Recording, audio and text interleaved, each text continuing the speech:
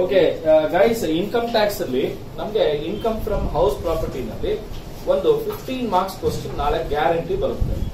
ಇದೇ ತರದ್ದೇ ಬರ್ಬೋದು ಅಥವಾ ಇದೇ ಪ್ರಾಬ್ಲಮ್ ಬಂದ್ರು ಬರ್ಬೋದು. ಅಮೌಂಟ್ಗಳು ಸ್ವಲ್ಪ ಡಿಫ್ರೆಂಟ್ ಆಗಿರುತ್ತೆ. ಇಲ್ಲಿ ಏನ್ ಹೇಳಿದಾನೆ from the following details compute income from house property of mister Suhas for the assessment year twenty one twenty two ಅಂತ ಇದೆ. ಪರ್ಟಿಕ್ಯುಲರ್ಸ್ ಇಲ್ಲಿ ಒಟ್ಟು ನಾಲ್ಕು ಮನೆ ಕೊಟ್ಟಿದ್ದಾರೆ ಎಷ್ಟು ಮನೆ ಕೊಟ್ಟಿದ್ದಾನೆ? ನಾಲ್ಕು ಮನೆ ಕೊಟ್ಟಿದ್ದಾನೆ. ಅದರಲ್ಲಿ ಮೊದಲನೇ ಮನೆ ಸೆಲ್ಫ್ ಆಕ್ಯುಪೈಡ್ ಅಂತ ಹೇಳಿದ್ದಾನೆ, ಎರಡನೇ ಮನೆನೂ ಸೆಲ್ಫ್ ಆಕ್ಯುಪೈಡ್ ಅಂತ ಹೇಳಿದ್ದಾನೆ, ಮೂರನೇ ಮನೆನೂ ಸೆಲ್ಫ್ ಆಕ್ಯುಪೈಡ್ ಸೆಲ್ಫ್ ಆಕ್ಯುಪೈಡ್ ಅಂದ್ರೆ ಏನು? ಓನರೇ ಮನೆ, ಆ ಮನೆಯಲ್ಲಿ ವಾಸವಾಗಿದ್ದಾರೆ ಒಂದು ಮನೆ ವಾಸವಾಗಿರ್ಬೋದು, ಆದ್ರೆ ಎಷ್ಟು ಮನೆಯಲ್ಲಿದ್ದಾನೆ? ಮೂರು ಮನೆಯಲ್ಲಿ ವಾಸವಾಗಿದ್ದಾನೆ. ಇದ್ರ ಬಗ್ಗೆ ನಾನು ಡೀಟೇಲ್ ಆಗಿ ಹೇಳ್ಬಿಡ್ತೀನಿ, ಆಮೇಲಿಂದ ಮುಂದಕ್ಕೆ ಹೋಗ್ತೀನಿ. ಓಕೆನಾ ಕ್ವಶನ್ ಓದ್ತೀನಿ. ನೋಡಿ, ಯಾವುದೇ ಓನರ್ ಆಗಲಿ ಇಂಡಿಯಾನಲ್ಲಿ ಯಾವ್ದಾದ್ರೂ ಎರಡು ಮನೆಯನ್ನ, ಯಾವ್ದಾದ್ರೂ ಸರಿ, ಅವನು ನಾಲ್ಕು ಮನೆಯನ್ನು ಸೆಲ್ಫ್ ಆಕ್ಯುಪೈಡ್ ಅಂತ ಮಾಡ್ಕೊಂಡಿದ್ರು ಕೂಡ ಇನ್ಕಮ್ ಟ್ಯಾಕ್ಸ್ ಆಕ್ಟ್ ಪ್ರಕಾರ ಯಾವುದಾದ್ರೂ ಎರಡು ಮನೆಯನ್ನ ಅವನು ಸೆಲ್ಫ್ ಆಕ್ಯುಪೈಡ್ ಅಂತ ಕ್ಲೇಮ್ ಮಾಡ್ತಾನೆ. ಸರ್ ಈಗ ಈ ಪ್ರಾಬ್ಲಮ್ನಲ್ಲಿ ಮೂರ್ ಮನೆ ಸೆಲ್ಫ್ ಆಕ್ಯುಪೈಡ್ ಮಾಡ್ಕೊಂಡಿದ್ದಾರೆ. ನೀವ್ ಹೇಳ್ತಾ ಇದ್ರೆ ಬರೀ ಎರಡು ಮನೆ ಮಾತ್ರ ಸೆಲ್ಫ್ ಆಕ್ಯುಪೇಷನ್ಗೆ ಇರುತ್ತೆ. ಇನ್ನೊಂದ್ ಮನೆ ಏನ್ ಮಾಡೋದು? ಆ ಇನ್ನೊಂದ್ ಮನೆಯನ್ನ ನಾವು ರೆಂಟ್ಗೆ ಕೊಟ್ಟಿದ್ದ ಅಂತ ಅನ್ಕೊಂಡು deem to be let out ಅಂತ ಹೇಳ್ತೀವಿ ಅಂದ್ರೆ assume to be let out ಬಾಡಿಗೆ ಕೊಟ್ಟಿದ್ದಾನೆ ಅಂತ ಅನ್ಕೊಂಡು ಟ್ಯಾಕ್ಸ್ ಮಾಡ್ತೀವಿ. ಯಾವ ರೀತಿ ಟ್ಯಾಕ್ಸ್ ಮಾಡ್ತೀವಿ ಅಂದ್ರೆ ಲೆಟ್ ಔಟ್ ಮಾಡಿದ್ರೆ ಯಾವ ರೀತಿ ಮಾಡ್ತೀವೋ ಹಾಗೇ ಮಾಡ್ತೀವಿ. ಲೆಟ್ ಔಟ್ ಮಾಡಿದ್ರೆ ಹ್ಯಾಕ್ ಮಾಡ್ತೀವಿ, ಹಾಗೇ ಮಾಡ್ತೀವಿ. ಇಲ್ಲಿ ಕ್ವಶನ್ ಎಲ್ಲ ಇರೋದು, ಈ ಮೂರ್ ಮನೆಯಲ್ಲಿ ಯಾವ್ದು ಎರಡು ಮನೆ ಸೆಲ್ಫ್ ಆಕ್ಯುಪೈಡ್ ಮಾಡೋದು? ಯಾವ ಮನೆನ deem to be let out ಮಾಡೋದು?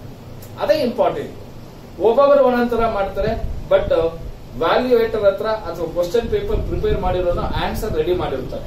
ಈ ಮನೆ ಡೀಮ್ ಟು ಬಿ ಲೆಟ್ಔಟ್ ಮಾಡಿದ್ರೆ ಮಾತ್ರ ಪ್ರಾಬ್ಲಮ್ ಕರೆಕ್ಟ್ ಅಂತ ಹೇಳಿರ್ತಾರೆ ನಾವು ಯಾವ ರೀತಿ ಡಿಸೈಡ್ ಮಾಡೋದು? ಕಾಮನ್ ಸೆನ್ಸ್ ಇಟ್ಟು ಯೂಸ್ ಮಾಡಿದ್ರೆ ಸಾಕು. ಓಕೆನಾ ಮಿಕ್ಕಿದ್ ಓದ್ತೀನಿ ನೋಡ್ಕೊಳ್ಳಿ. ಮುನ್ಸಿಪಲ್ ವ್ಯಾಲ್ಯೂ ಕೊಟ್ಟಿದ್ದಾನೆ ಫೇರ್ ರೆಂಟ್ ಕೊಟ್ಟಿದ್ದಾನೆ standard rent annual rent municipal taxes paid by the assessee fifty percent ಅಂತೆ. Municipal taxes ten percent on municipal value ಅಂತ ಹೇಳಿದ್ದಾನೆ. ಆ ಮುನಿಸಿಪಲ್ ಟೆನ್ ಪರ್ಸೆಂಟ್ ಅಲ್ಲಿ ಓಕೆನಾ ಫಿಫ್ಟಿ ಪರ್ಸೆಂಟ್ ಯಾರು ಕೊಟ್ಟಿದ್ದಾನಂತೆ? ಓನರ್ ಕೊಟ್ಟಿದ್ದಾನಂತೆ. ಇನ್ ಫಿಫ್ಟಿ ಪರ್ಸೆಂಟ್ ಯಾರು ಕೊಟ್ಟಿದ್ದಾನಂತೆ? ಟೆನೆಂಟ್ ಕೊಟ್ಟಿದ್ದಾನಂತೆ. ನೆಕ್ಸ್ಟ್ ವೇಕೆನ್ಸಿ ಪೀರಿಯಡ್ ನಾಲ್ಕನೇ ಮನೆ, ಯಾವ ಮನೆ ಆದ್ರೆ ಲೆಟ್ ಔಟ್ ಮಾಡಿದಾನೆ ಆ ಮನೆ ಒಂದು ತಿಂಗಳು ಖಾಲಿ ಬಿದ್ದಿದೆಯಂತೆ. ಅನ್ರಿಯಲೈಸ್ ರೆಂಟ್ ನಾಲ್ಕನೇ ಮನೆ ಮೂವತ್ತೈದು ಸಾವಿರ ರೂಪಾಯಿ ಅನ್ರಿಯಲೈಸ್ಮೆಂಟ್ ಆಗಿದೆ. ಅಂದ್ರೆ ರೆಂಟ್ ಕಲೆಕ್ಟ್ ಆಗಿಲ್ಲ ಟೆನೆಂಟ್ ಟೆನೆಂಟ್ ಇಂದ. ರಿಪೇರ್ ಆಗಿದೆ. ರಿಪೇರ್ ಎಲ್ಲೂ ತಗೊಳ್ಳೋದಿಲ್ಲ ನಮಗೂ, ನಿಮಗೂ, ಎಲ್ರಿಗೂ ಗೊತ್ತು. ಓಕೆನಾ ಇಂಟ್ರೆಸ್ಟ್ ಆನ್ ಲೋನ್ ಅಲ್ಲಿ ಫಾರ್ ಕನ್ಸ್ಟ್ರಕ್ಷನ್ಗೆ ಅಂತ ಹೌಸ್ ಒನ್ಗೆ ಹೌಸ್ ತ್ರೀಗೆ ತಗೊಂಡಿದ್ದಾನೆ. ಡಾಟರ್ ಮ್ಯಾರೇಜ್ಗೆ ಅಂತ ಎರಡನೇ ಮನೆ ಮತ್ತೆ ನಾಲ್ಕನೇ ಮನೆ ಅಡ ಮಾಡಿಬಿಟ್ಟು ಸಾಲ ತಗೊಂಡು ಅದಕ್ಕೆ ಇಂಟ್ರೆಸ್ಟ್ ಕಟ್ಟಿದ್ದಾನೆ. ನಮ್ಗೆಲ್ರಿಗೂ ಗೊತ್ತಿದೆ? ಯಾವುದೇ ಕಾರಣಕ್ಕೂ ಹೌಸ್ ಅನ್ನ ಹೌದಾ ಕನ್ಸ್ಟ್ರಕ್ಷನ್ಗೆ ರಿಪೇರ್ಗೆ ರಿನೀವಲ್ಗೆ ರೀಕನ್ಸ್ಟ್ರಕ್ಷನ್ ಬಿಟ್ಟು ಬೇರೆ ಯಾವುದೇ ಉದ್ದೇಶಕ್ಕೆ ಸಾಲ ತಗೊಂಡು ಬಡ್ಡಿ ಕಟ್ಟಿದ್ರೆ ಅದಕ್ಕೆ ಇಂಟ್ರೆಸ್ಟ್ ಡಿಡಕ್ಷನ್ ಕೊಡೋದಿಲ್ಲ. ಅರ್ಥ ಆಗ್ತಿದ್ಯಾ? ಇಷ್ಟೇ ಕೊಟ್ಟಿರೋದು ಇನ್ನೇನು ಇಲ್ಲ ಈ ಕ್ವಶನ್ ಇನ್ನೇನು ಇಲ್ಲ. Everything is very clear but one point ಮಾತ್ರ ತುಂಬಾ ಕನ್ಫ್ಯೂಸ್ ಮಾಡುತ್ತೆ. ಈಗ ನಾವು house one two three S O P S O P S O P ಯಾವ ಮನೆ ಕೊಡಬೇಕು ಸೆಲ್ಫ್ ಆಕ್ಯುಪೇಷನ್ಗೆ ಅಂತ ನಾನು ಹೇಳ್ತೀನಿ. ನಾನು ಹೇಳ್ತೀನಿ ಎಸ್ ಒ ಪಿ ನೋಡಿ ನನಗಾದ್ರೆ ಮೂರನೇ ಮನೆ ನೋಡಿ, ಮೂರನೇ ಮನೆಯಲ್ಲಿ ಇಂಟ್ರೆಸ್ಟ್ ಆನ್ ಲೋನ್ ಅಂತ ಇದೆ. ಕರೆಕ್ಟಾ ಫಾರ್ ಕನ್ಸ್ಟ್ರಕ್ಷನ್ ಎಷ್ಟು ಸಾವಿರ ಇದೆಯಪ್ಪ? ಇಪ್ಪತ್ತೈದು ಸಾವಿರ ರೂಪಾಯಿ ಇದೆ. ಅಂದ್ರೆ ಎಸ್ ಒ ಪಿ ಮಾಡ್ಕೊಂಡ್ರೆ ಇಂಟ್ರೆಸ್ಟ್ ಆನ್ ಲೋನ್ ಇದ್ರೆ ನಮ್ಗೆ ನೆಗೆಟಿವ್ ತಾನೇ ಬರುತ್ತೆ. ನೆಗೆಟಿವ್ ಬಂದ್ರೆ ಜಾಸ್ತಿ ನೆಗೆಟಿವ್ ಬರೋದು ಬೆನಿಫಿಟ್ ಯಾರಿಗೆ? ಅಸಸಿಗೆ ಹೋಗುತ್ತೆ. ಮೊದಲನೇದು. ಎರಡನೇ ಪಾಯಿಂಟ್ ಏನ್ ಚೆಕ್ ಮಾಡಬೇಕು ಅಂದ್ರೆ ನೋಡಿ municipal value fair rent standard rent ಆ ಮೂರು ಕಂಪೇರ್ ಮಾಡಿದ್ರೆ ಹೌಸ್ ಒನ್ ಟೂ ಗೆ ಎರಡಕ್ಕಿಂತಲೂ ಜಾಸ್ತಿ ಇದೆ. ಇದೆಯಾ ಇಲ್ವಾ? ಇದೆ. ಹಾಗಾದ್ರೆ ಯಾವ್ದು ಜಾಸ್ತಿ ಇದೆ ಅದನ್ನೇ ನಾವು ಏ ಫೈನಲ್ ಇಯರ್ ಕ್ವಶನ್ ಅಲ್ಲಿ ಇದೆ ನೋಡಿ ಕ್ವಶನ್ ಓಕೆನಾ ಇವೆರಡು ಕಂಡೀಷನ್ಸ್ ಫುಲ್ಫಿಲ್ ಮಾಡುತ್ತೆ ಸೆಕೆಂಡ್ ಪಾಯಿಂಟ್ ಇನ್ನೊಂದ್ಸರಿ ಹೇಳ್ತೀನಿ. ಫಸ್ಟ್ ಪಾಯಿಂಟ್ ಏನ್ ನೋಡ್ತೀವಿ? ಇಂಟ್ರೆಸ್ಟ್ ಆನ್ ಲೋನ್ ನೋಡಿ. ಏನ್ ನೋಡ್ತೀವಿ? ಇಂಟ್ರೆಸ್ಟ್ ಆನ್ ಲೋನ್ ಎರಡನೇ ಪಾಯಿಂಟ್ ಏನ್ ನೋಡ್ತೀವಿ? ಫೇರ್ ರೆಂಟು ಮುನ್ಸಿಪಲ್ ರೆಂಟು ಯಾವ್ದು ಜಾಸ್ತಿ ಇದೆ, ಆ- ಬೇಸಿಸ್ ಮೇಲೂ ಡಿಸೈಡ್ ಮಾಡ್ತೀವಿ. ಎಸ್ ಓಪಿನ ಪಿನ ಅಂತೀವಿ ಹಾಗಾದ್ರೆ fair rent municipal rent standard rent ಆ ಮೂರಲ್ಲಿ ಯಾವ್ದು? ಮೂರ್ ಮನೆ ಕಂಪೇರ್ ಮಾಡಿದ್ರೆ, ಮೂರನೇ ಮನೆಯಿಂದ ತಾನೇ ಜಾಸ್ತಿ ಇರೋದು?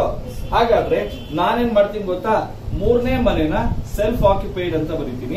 ಇದು ಹೇಗಿದ್ರು ಲೆಟ್ ಔಟ್ ಅಲ್ವಾ? ಅದು ಮಾಡ್ಲೇಬೇಕಾಗುತ್ತೆ ಬಿಟ್ಬಿಟ್ಟೆ ಈಗ ಮೊದಲನೇ ಮನೆ ಎರಡನೇ ಮನೆ. ಇನ್ನೊಂದ್ ಮನೆ ಯಾವ್ದಾದ್ರು ಒಂದ್ ಕೊಡ್ಬೇಕು. ಇನ್ನೊಂದ್ ಮನೆ ಕೊಡೋಣ ಅಂತ ಹೇಳಿದ್ರೆ ಇಲ್ಲಿ ಇಂಟ್ರೆಸ್ಟ್ ಆನ್ ಲೋನ್ ಎಷ್ಟಿದೆ ನೋಡಿ ಮೊದಲನೇ ಮನೆಯಲ್ಲಿ. ಹತ್ತು ಸಾವಿರ. ಎರಡನೇ ಮನೆಯಲ್ಲಿ ಇಂಟ್ರೆಸ್ಟ್ ಆನ್ ಲೋನೇ ಇಲ್ಲ. ಇದ್ರು ಅದು ಡಾಕ್ಟರ್ ಮ್ಯಾರೇಜ್ ತಗೊಂಡ್ರೆ ಲೋನ್ ಬರೋಲ್ಲ. ಹಾಗಾದ್ರೆ ಮೊದಲನೇ ಮನೆನ ಏನ್ ಮಾಡ್ತೀನಿ? ಎಸ್ ಒ ಪಿ ಮಾಡ್ತೀನಿ.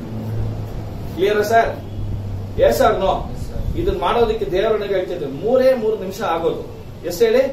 Only three minutes not more than three minutes ಹಾಗಾದ್ರೆ ಮೊದಲನೇ ಮನೇನ ಸೆಲ್ಫ್ ಆಕ್ಯುಪೈಡ್ ಮಾಡಿದ್ವಿ? ಮೂರನೇ ಮನೇನ ಸೆಲ್ಫ್ ಆಕ್ಯುಪೈಡ್ ಮಾಡಿದ್ವಿ? ಕಾರಣ ಏನಂದ್ರೆ ಇಂಟ್ರೆಸ್ಟ್ ಆನ್ ಲೋನ್ ಇದೆ ಪ್ಲಸ್ ಮುನ್ಸಿಪಲ್ ವ್ಯಾಲ್ಯೂ ಎಲ್ಲ ಯಾವ್ದ್ರಲ್ಲಿ ಜಾಸ್ತಿ ಇದೆ? Municipal value fair rental value ಎಲ್ಲ ಹೌಸ್ ಒನ್ ತ್ರೀ ನಲ್ಲೇ ಜಾಸ್ತಿ ಇದೆ. ಹೌದಾ? ಹಾಗಾದ್ರೆ ಹೌಸ್ ಟೂ ನ ಏನ್ ಮಾಡ್ಬೋದು? Deem to be let out ಮಾಡ. ಏನ್ ಮಾಡ? Deem to be let out ಕ್ಲಿಯರಾ yes or no yes sir ಈಗ ಸ್ಟೆಪ್ ನಂಬರ್ ಒನ್ ಫಸ್ಟ್ ಸ್ಟೆಪ್ನಲ್ಲಿ ಫೇರ್ ರೆಂಟ್ ಎಷ್ಟಿದ್ಯಪ್ಪ ಫೇರ್ ರೆಂಟ್ ಯಾವ್ದೇ ಅದಕ್ಕೆ ಹಾಕೋಬೇಕು? ನೋಡಿ very simple S O P ಇರೋದು ಯಾವಾಗ್ಲೂ dash dash S O P ಇರೋದು ಯಾವಾಗ್ಲೂ ಡ್ಯಾಶ್ ಎಲ್ಲೂ ಏನು ತಗೊಳ್ಬಾರ್ದು ಎಸ್ ಒ ಪಿಗೆ ಡಿಮುಟಿ ಲೆಟ್ ಔಟ್ ಇದೆ fair rent three lakh sixty thousand ಇದೆ. ಕರೆಕ್ಟ್ ಏನ್ರಿ? ಕರೆಕ್ಟ್ ಸರ್ ಲೆಟ್ ಔಟ್ ಇದೆ ಫೋರ್ ಲ್ಯಾಕ್ ಸಿಕ್ಸ್ಟಿ ತೌಸಂಡ್ ಇದೆ. ಇದೆಯಾ? ಇದೆ. ಫೋರ್ ಲ್ಯಾಕ್ ಟ್ವೆಂಟಿ ತೌಸಂಡ್ ಇದೆ. ಓಕೆ ಮುನ್ಸಿಪಲ್ ರೆಂಟ್ ಎಷ್ಟಿದೆ? ಎಷ್ಟಿದೆ ರೇಂಜ್ ಮೊದಲನೇ ಮನೆಯದು ಎರಡನೇ, ಮೂರನೇ ಮನೆಯದು ಬೇಡ. ಆ, ಮೂರನೇ, ಎರಡನೇ ಮನೆದು ಎಷ್ಟಿದೆ? ಟೂ ಲ್ಯಾಕ್ ಫಿಫ್ಟಿ ಮತ್ತೆ ಫೋರ್ ಲ್ಯಾಕ್ ಸಿಕ್ಸ್ಟಿ ಈಗ ಆಸ್ ಯೂಶುವಲ್ನಲ್ಲಿ ಏನ್ ಹೇಳುತ್ತೆ? ಇವೆರಡರಲ್ಲಿ ಯಾವುದು ಜಾಸ್ತಿ ಇದೆ ಅದು. ಕರೆಕ್ಟಾ ಯಾವ್ದು ಜಾಸ್ತಿ ಇದೆ? ತ್ರೀ ಲ್ಯಾಕ್ ಸಿಕ್ಸ್ಟಿ ಜಾಸ್ತಿ ಇದೆ. ಫೋರ್ ಲ್ಯಾಕ್ ಸಿಕ್ಸ್ಟಿ ಜಾಸ್ತಿ ಇದೆ. ಕರೆಕ್ಟ್ ಏನಪ್ಪ? ಹಾಗಾದ್ರೆ ಯಾವ್ದು ಜಾಸ್ತಿ ಇದೆ? ಎಫ್ ಆರ್ ವಿ ಅಥವಾ ಮುನ್ಸಿಪಲ್ ರೆಂಟ್ ಮುನ್ಸಿಪಲ್ ವ್ಯಾಲ್ಯೂ ಕರೆಕ್ಟಾ ಯಾವ್ದೋ ಒಂದು ಜಾಸ್ತಿ ಇದೆ. ಎರಡನೇ ಸ್ಟೆಪ್ನಲ್ಲಿ ಏನ್ ಮಾಡ್ತೀವಿ? ಸ್ಟ್ಯಾಂಡರ್ಡ್ ರೆಂಟ್ನ ಕಂಪೇರ್ ಮಾಡ್ತೀವಿ. ಸ್ಟ್ಯಾಂಡರ್ಡ್ ರೆಂಟ್ ಎಷ್ಟಿದೆ? ಎರಡನೇದು, ಮೂರನೇದು, ನಾಲ್ಕನೇದು? ಎರಡನೇದು, ನಾಲ್ಕನೇದು? Two lakh eighty three lakhs ಇವೆರಡರಲ್ಲಿ ಯಾವ್ದಪ್ಪ ಕಡಿಮೆ ಇದೆ? ಯಾವ ಕಡಿಮೆ ಇದೆ? ಟೂ ಲ್ಯಾಕ್ ಏಟಿ ಮತ್ತೆ ತ್ರೀ ಲ್ಯಾಕ್ಸ್ ಕರೆಕ್ಟಾ? Yes or no yes sir ಈಗ ಇದನ್ನ ಏನಂತ ಕರೆಯೋಣ? ಎಕ್ಸ್ಪೆಕ್ಟೆಡ್ ರೆಂಟ್ ಯಾರೋ ಮಾತಾಡ್ತಾ ಇದ್ರ ಮಾತಾಡಬಾರದು. ನೆಕ್ಸ್ಟ್ ಇದನ್ನ ಏನ್ ಮಾಡೋಣ ಆಕ್ಚುಯಲ್ ರೆಂಟ್ ಕಂಪೇರ್ ಮಾಡೋಣ ಆಕ್ಚುಯಲ್ ರೆಂಟ್ ಅಂತೂ ಖಂಡಿತ ಇದಕ್ಕೆ ಇರಲ್ಲ. ಯಾವ್ದಕ್ಕೆ? ಎರಡನೇ ಮನೆಗೆ ಬರಲ್ಲ. ಯಾಕೆಂದ್ರೆ ಎಸ್ ಒ ಪಿ ಅಂತ ಹಾಕೊಂಡಿದ್ದ. ಕರೆಕ್ಟಾ ಆದ್ರೆ ನಾಲ್ಕನೇ ಮನೆ ಲೆಟ್ ಔಟ್ ಎಷ್ಟು ಬಾಡಿಗೆ ಕೊಟ್ಟಿದಾರಂತೆ ಮೂವತ್ತೈದು ಸಾವಿರ ಒಂದ್ ತಿಂಗಳು ಕೊಟ್ಟಿದ್ದಾನೆ ಕರೆಕ್ಟಾ ಕರೆಕ್ಟ್ ಏನ್ರಿ? ಹನ್ನೆರಡು ತಿಂಗಳಿಗೆ ಎಷ್ಟು ಆಗುತ್ತೆ? ಹನ್ನೆರಡು ತಿಂಗಳಿಗೆ ಎಷ್ಟಾಗುತ್ತೆ ಹನ್ನೆರಡು ಮೂರು ಮೂವತ್ತಾರು. ಫೋರ್ ಲ್ಯಾಕ್ ಟ್ವೆಂಟಿ ತೌಸಂಡ್ ಆಗುತ್ತೆ. ಕರೆಕ್ಟಾ ಇದರಲ್ಲಿ ಅನ್ರಿಯಲೈಸ್ ರೆಂಟ್ ಎಷ್ಟಿದೆಯಂತೆ ಅನ್ರಿಯಲೈಸ್ ರೆಂಟ್ ಎಷ್ಟಿದೆಯಂತಪ್ಪ ತರ್ಟಿ ಫೈವ್ ತೌಸಂಡ್ ಹೋದ್ರೆ ಎಷ್ಟು ಬರುತ್ತೆ ಇನ್ನ? Three lakh eighty five thousand ಕರೆಕ್ಟಾ ಈಗ. ಸರ್ ಇವಾಗ ಮಾಡಬಾರ್ದು. ಓಕೆನಾ ನಾನು ಹೇಳೋವರೆಗೂ ಕೇಳಬೇಕು ಕ್ಲೀನ್ ಆಗಿ. ಅನ್ರಿಯಲೈಸೇಷನ್ ಮೈನಸ್ ಮಾಡಿದ್ರ? ಮಾಡಿದ್ರ? ಮಾಡಿದ್ಮೇಲೆ ಇವೆರಡರಲ್ಲಿ ಯಾವ್ದು ಕಡಿಮೆ ಬರುತ್ತಪ್ಪ? ಯಾವ್ದು ಜಾಸ್ತಿ ಬರ್ತಾ ಇದೆ? ಯಾವ್ದು ಜಾಸ್ತಿ ಬರ್ತಾ ಇದೆ? ಟೂ ಲ್ಯಾಕ್ ಏಟಿ ತೌಸಂಡ್ ಇಲ್ಲಿ three lakh eighty five thousand ಬರ್ತಾ ಇದೆ. ಕರೆಕ್ಟಾ ಈಗ ಲೆಸ್ ವೇಕೆನ್ಸಿ ಪೀರಿಯಡ್ ನೋಡಿ ಮೊದಲನೇ ಮನೆ ಇಲ್ಲ ಎರಡನೇ ಮನೆ ಇಲ್ಲ ಮೂರನೇ ಮನೆ ಇಲ್ಲ. ನಾಲ್ಕನೇ ಮನೆ ಒಂದು ತಿಂಗಳು ವೇಕೆಂಟ್ ಆಗಿದೆ ಅಂತ. ಕರೆಕ್ಟಾ ಒಂದು ತಿಂಗಳಿಗೆ ಬಾಡಿಗೆ ಎಷ್ಟು? ಮೂವತ್ತೈದು ಸಾವಿರ. ಹೌದಾ? ಮೂವತ್ತೈದು ಸಾವಿರನ ಮೈನಸ್ ಮಾಡ. ಮಾಡಿದ್ರೆ ಬರೋದನ್ನ ಏನಂತ ಹೇಳೋಣ? ಗ್ರಾಸ್ ಆನ್ಯುವಲ್ ವ್ಯಾಲ್ಯೂ ಇದು ಟೂ ಲ್ಯಾಕ್ ಏಟಿ ಇದು ತ್ರೀ ಲ್ಯಾಕ್ ಫಿಫ್ಟಿ ತೌಸಂಡ್ ಓಕೆನಾ ಕ್ಲಿಯರಾ ಎಲ್ಲರಿಗೂ ಕ್ಲಿಯರಾ ಓಕೆ ಈಗ ಇದರಲ್ಲಿ ಮುನ್ಸಿಪಲ್ ಟ್ಯಾಕ್ಸ್ ಯಾರು ಕೊಟ್ಟಿರ್ಬೇಕು? ಪೇಡ್ ಬೈ ಓನರ್ ನೋಡಿ ಮುನ್ಸಿಪಲ್ ವ್ಯಾಲ್ಯೂ ನಮ್ಮ ಹತ್ರ ಎರಡನೇ ಮನೆಗೆ ಎರಡೂವರೆ ಲಕ್ಷ ಇದೆ. ಕರೆಕ್ಟ್ ಏನಪ್ಪ? ಇದೆಯಾ? ಇದರಲ್ಲಿ ಟೆನ್ ಪರ್ಸೆಂಟ್ ಮುನ್ಸಿಪಲ್ ಟ್ಯಾಕ್ಸ್ ಅದರಲ್ಲಿ ಫಿಫ್ಟಿ ಪರ್ಸೆಂಟ್ ಯಾರು ಕಟ್ಟಿರೋದು? ಓನರ್ ಕಟ್ಟಿರೋದು. ಇಪ್ಪತ್ತೈದು ಸಾವಿರದಲ್ಲಿ ಅರ್ಧ ಎಷ್ಟು? ಹನ್ನೆರಡೂವರೆ ಸಾವಿರ. ಕರೆಕ್ಟಾ? ಕರೆಕ್ಟಾ? ನೆಕ್ಸ್ಟ್ ಇದರದ್ದು ಎಷ್ಟಿದೆ? Municipal value four lakh sixty ಇದೆ. ಫೋರ್ ಲ್ಯಾಕ್ ಸಿಕ್ಸ್ಟಿ ತೌಸಂಡ್ ಅಲ್ಲಿ ಟೆನ್ ಪರ್ಸೆಂಟ್ ಅದರಲ್ಲಿ ಫಿಫ್ಟಿ ಪರ್ಸೆಂಟ್ ಯಾರು ಕೊಟ್ಟಿರೋದು? ಓನರ್ ಕೊಟ್ಟಿರೋದು. ಅಲ್ಲಿಗೆ ಟ್ವೆಂಟಿ ತ್ರೀ ತೌಸಂಡ್ ಇವನು ಕೊಟ್ಟಿದ್ದಾರೆ. ಕರೆಕ್ಟಾ? S R no yes sir ಈಗ ನಮಗೆ ಬರೋದೇನು ನೆಟ್ ಆನ್ಯುಯಲ್ ವ್ಯಾಲ್ಯೂ ಇದೇನು ಇಲ್ಲ? ಇದರಲ್ಲಿ ಏಳು ಆರು ಎರಡು. ಇದು ಏಳು ಎರಡು ಮೂರು. ಕ್ಲಿಯರ್ ಏನಪ್ಪ? ಎಸ್ ಆರ್ ನೋ ಈಗ less deduction under section twenty four interest sorry standard deduction ಏನಿದು? Standard deduction standard deduction net annual value ಮೇಲೆ ಎಷ್ಟು ಪರ್ಸೆಂಟ್ ಮೂವತ್ತು ಪರ್ಸೆಂಟ್ ಇಲ್ಲಿ ಏನು ಇಲ್ಲ. ಕರೆಕ್ಟಾ ಇದ್ರ ಮೇಲೆ ಮೂವತ್ತು ಪರ್ಸೆಂಟ್ ಎಷ್ಟು ಬರುತ್ತೆ ಹೇಳಿ ಬೇಗನೆ? ಏಟಿ ತೌಸಂಡ್ ಟು ಫಿಫ್ಟಿ ಬರುತ್ತೆ. ಇದ್ರ ಮೇಲೆ ಎಷ್ಟು ಬರುತ್ತೆ ಹೇಳಿ? Ninety eight thousand one hundred ಬರ್ತೇನಪ್ಪ? ಇದು ಮೈನಸ್ ಇದು ಮೈನಸ್ ಎರಡನೇದು ಇಂಟ್ರೆಸ್ಟ್ ಆನ್ ಲೋನ್ ನೋಡಿ ಇಂಟ್ರೆಸ್ಟ್ ಆನ್ ಲೋನು ಮೊದಲನೇ ಮನೆಯದು ಹತ್ತು ಸಾವಿರ ರೂಪಾಯಿ ಇದೆ. ಎರಡನೇ ಮನೆಯದು ಏನು ಇಲ್ಲ. ಹೌದಾ? ಮೂರನೇ ಮನೆಯದು ಇಪ್ಪತ್ತೈದು ಸಾವಿರ ಇದೆ. ನಾಲ್ಕನೇ ಮನೆಯದು ಎಷ್ಟಿದೆ? ಏನು ಇಲ್ಲ.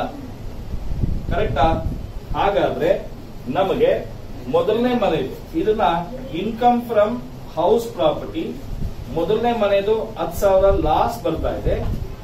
ಎರಡನೇ ಮನೆಯದು ಟೂ ಫಿಫ್ಟಿ ಕರೆಕ್ಟ್ ಮೂರನೇ ಮನೆಯದು ಲಾಸ್ ಇಪ್ಪತ್ತೈದು ಸಾವಿರ. ನಾಲ್ಕನೇ ಮನೆಯದು two lakh twenty eight thousand nine hundred ಬಂತೇನಪ್ಪ? ಇಷ್ಟು ಮಾಡಿದ್ರೆ ಎಷ್ಟು ಮಾರ್ಕ್ಸ್ ಗೊತ್ತಾ ನಿಮ್ಗೆ? ಹದ್ನಾಲ್ಕು, ಹದಿನೈದು ಮಾರ್ಕ್ಸ್ ಅರ್ಥ ಆಗ್ತಿದ್ಯಾ? ಈಗ computation of taxable income from salary income from house property ಓಕೆನಾ ಈಗ income from house property number one ಎಷ್ಟು ಬರ್ತಾ ಇದೆಯಪ್ಪ? ಲಾಸ್ಟ್ ಟೆನ್ ತೌಸಂಡ್ ಕರೆಕ್ಟಾ? Income from house property number two ಎಷ್ಟಿದೆಯಪ್ಪ? One lakh eighty seven thousand two fifty ಇದೆ. Income from house property number three minus twenty five thousand ಇದೆ. Income from house property number four two lakh twenty eight thousand seven hundred nine hundred ಈಗ ಇದು ಇದು add ಮಾಡಿ, ಇವೆರಡು minus ಮಾಡಿ. ಎಷ್ಟು ಬರುತ್ತೆ? Two lakh three lakh eighty one ಇನ್ನೊಂದ್ಸರಿ ಯಾರೋ ಮಾತಾಡ್ತಾ ಇದ್ದೀರಾ? ಅದಕ್ಕೆ ನಂಗೆ ಗೊತ್ತಾಗ್ತಾ ಇಲ್ಲ. ತ್ರೀ ಲ್ಯಾಕ್ ನಾನು ಆವಾಗಲೇ ಹೇಳಿದ್ದೀನಿ ಸೈಲೆಂಟ್ ಆಗಿ ಕೂತ್ಕೊಳ್ರಿ ಅಂತ ಹೇಳಿ ಇದನ್ನ taxable income from house property sir ಇನ್ನೊಂದ್ಸರಿ ಕ್ಲೀನ್ ಆಗಿ ನಿಮ್ಗೆ ಯಾಕೆ ನಾನು ಹೌಸ್ ಒನ್ ಅನ್ನ ಹೌಸ್ ತ್ರೀ ಅನ್ನ ಸೆಲ್ಫ್ ಆಕ್ಯುಪೈಡ್ ತಗೊಂಡಿದ್ದೀನಿ ಅಂತ ಹೇಳಿ. ಅದೇ ತಾನೇ ನಿಮ್ಗೆಲ್ಲ ಕ್ವಶನ್ ಇರೋದು.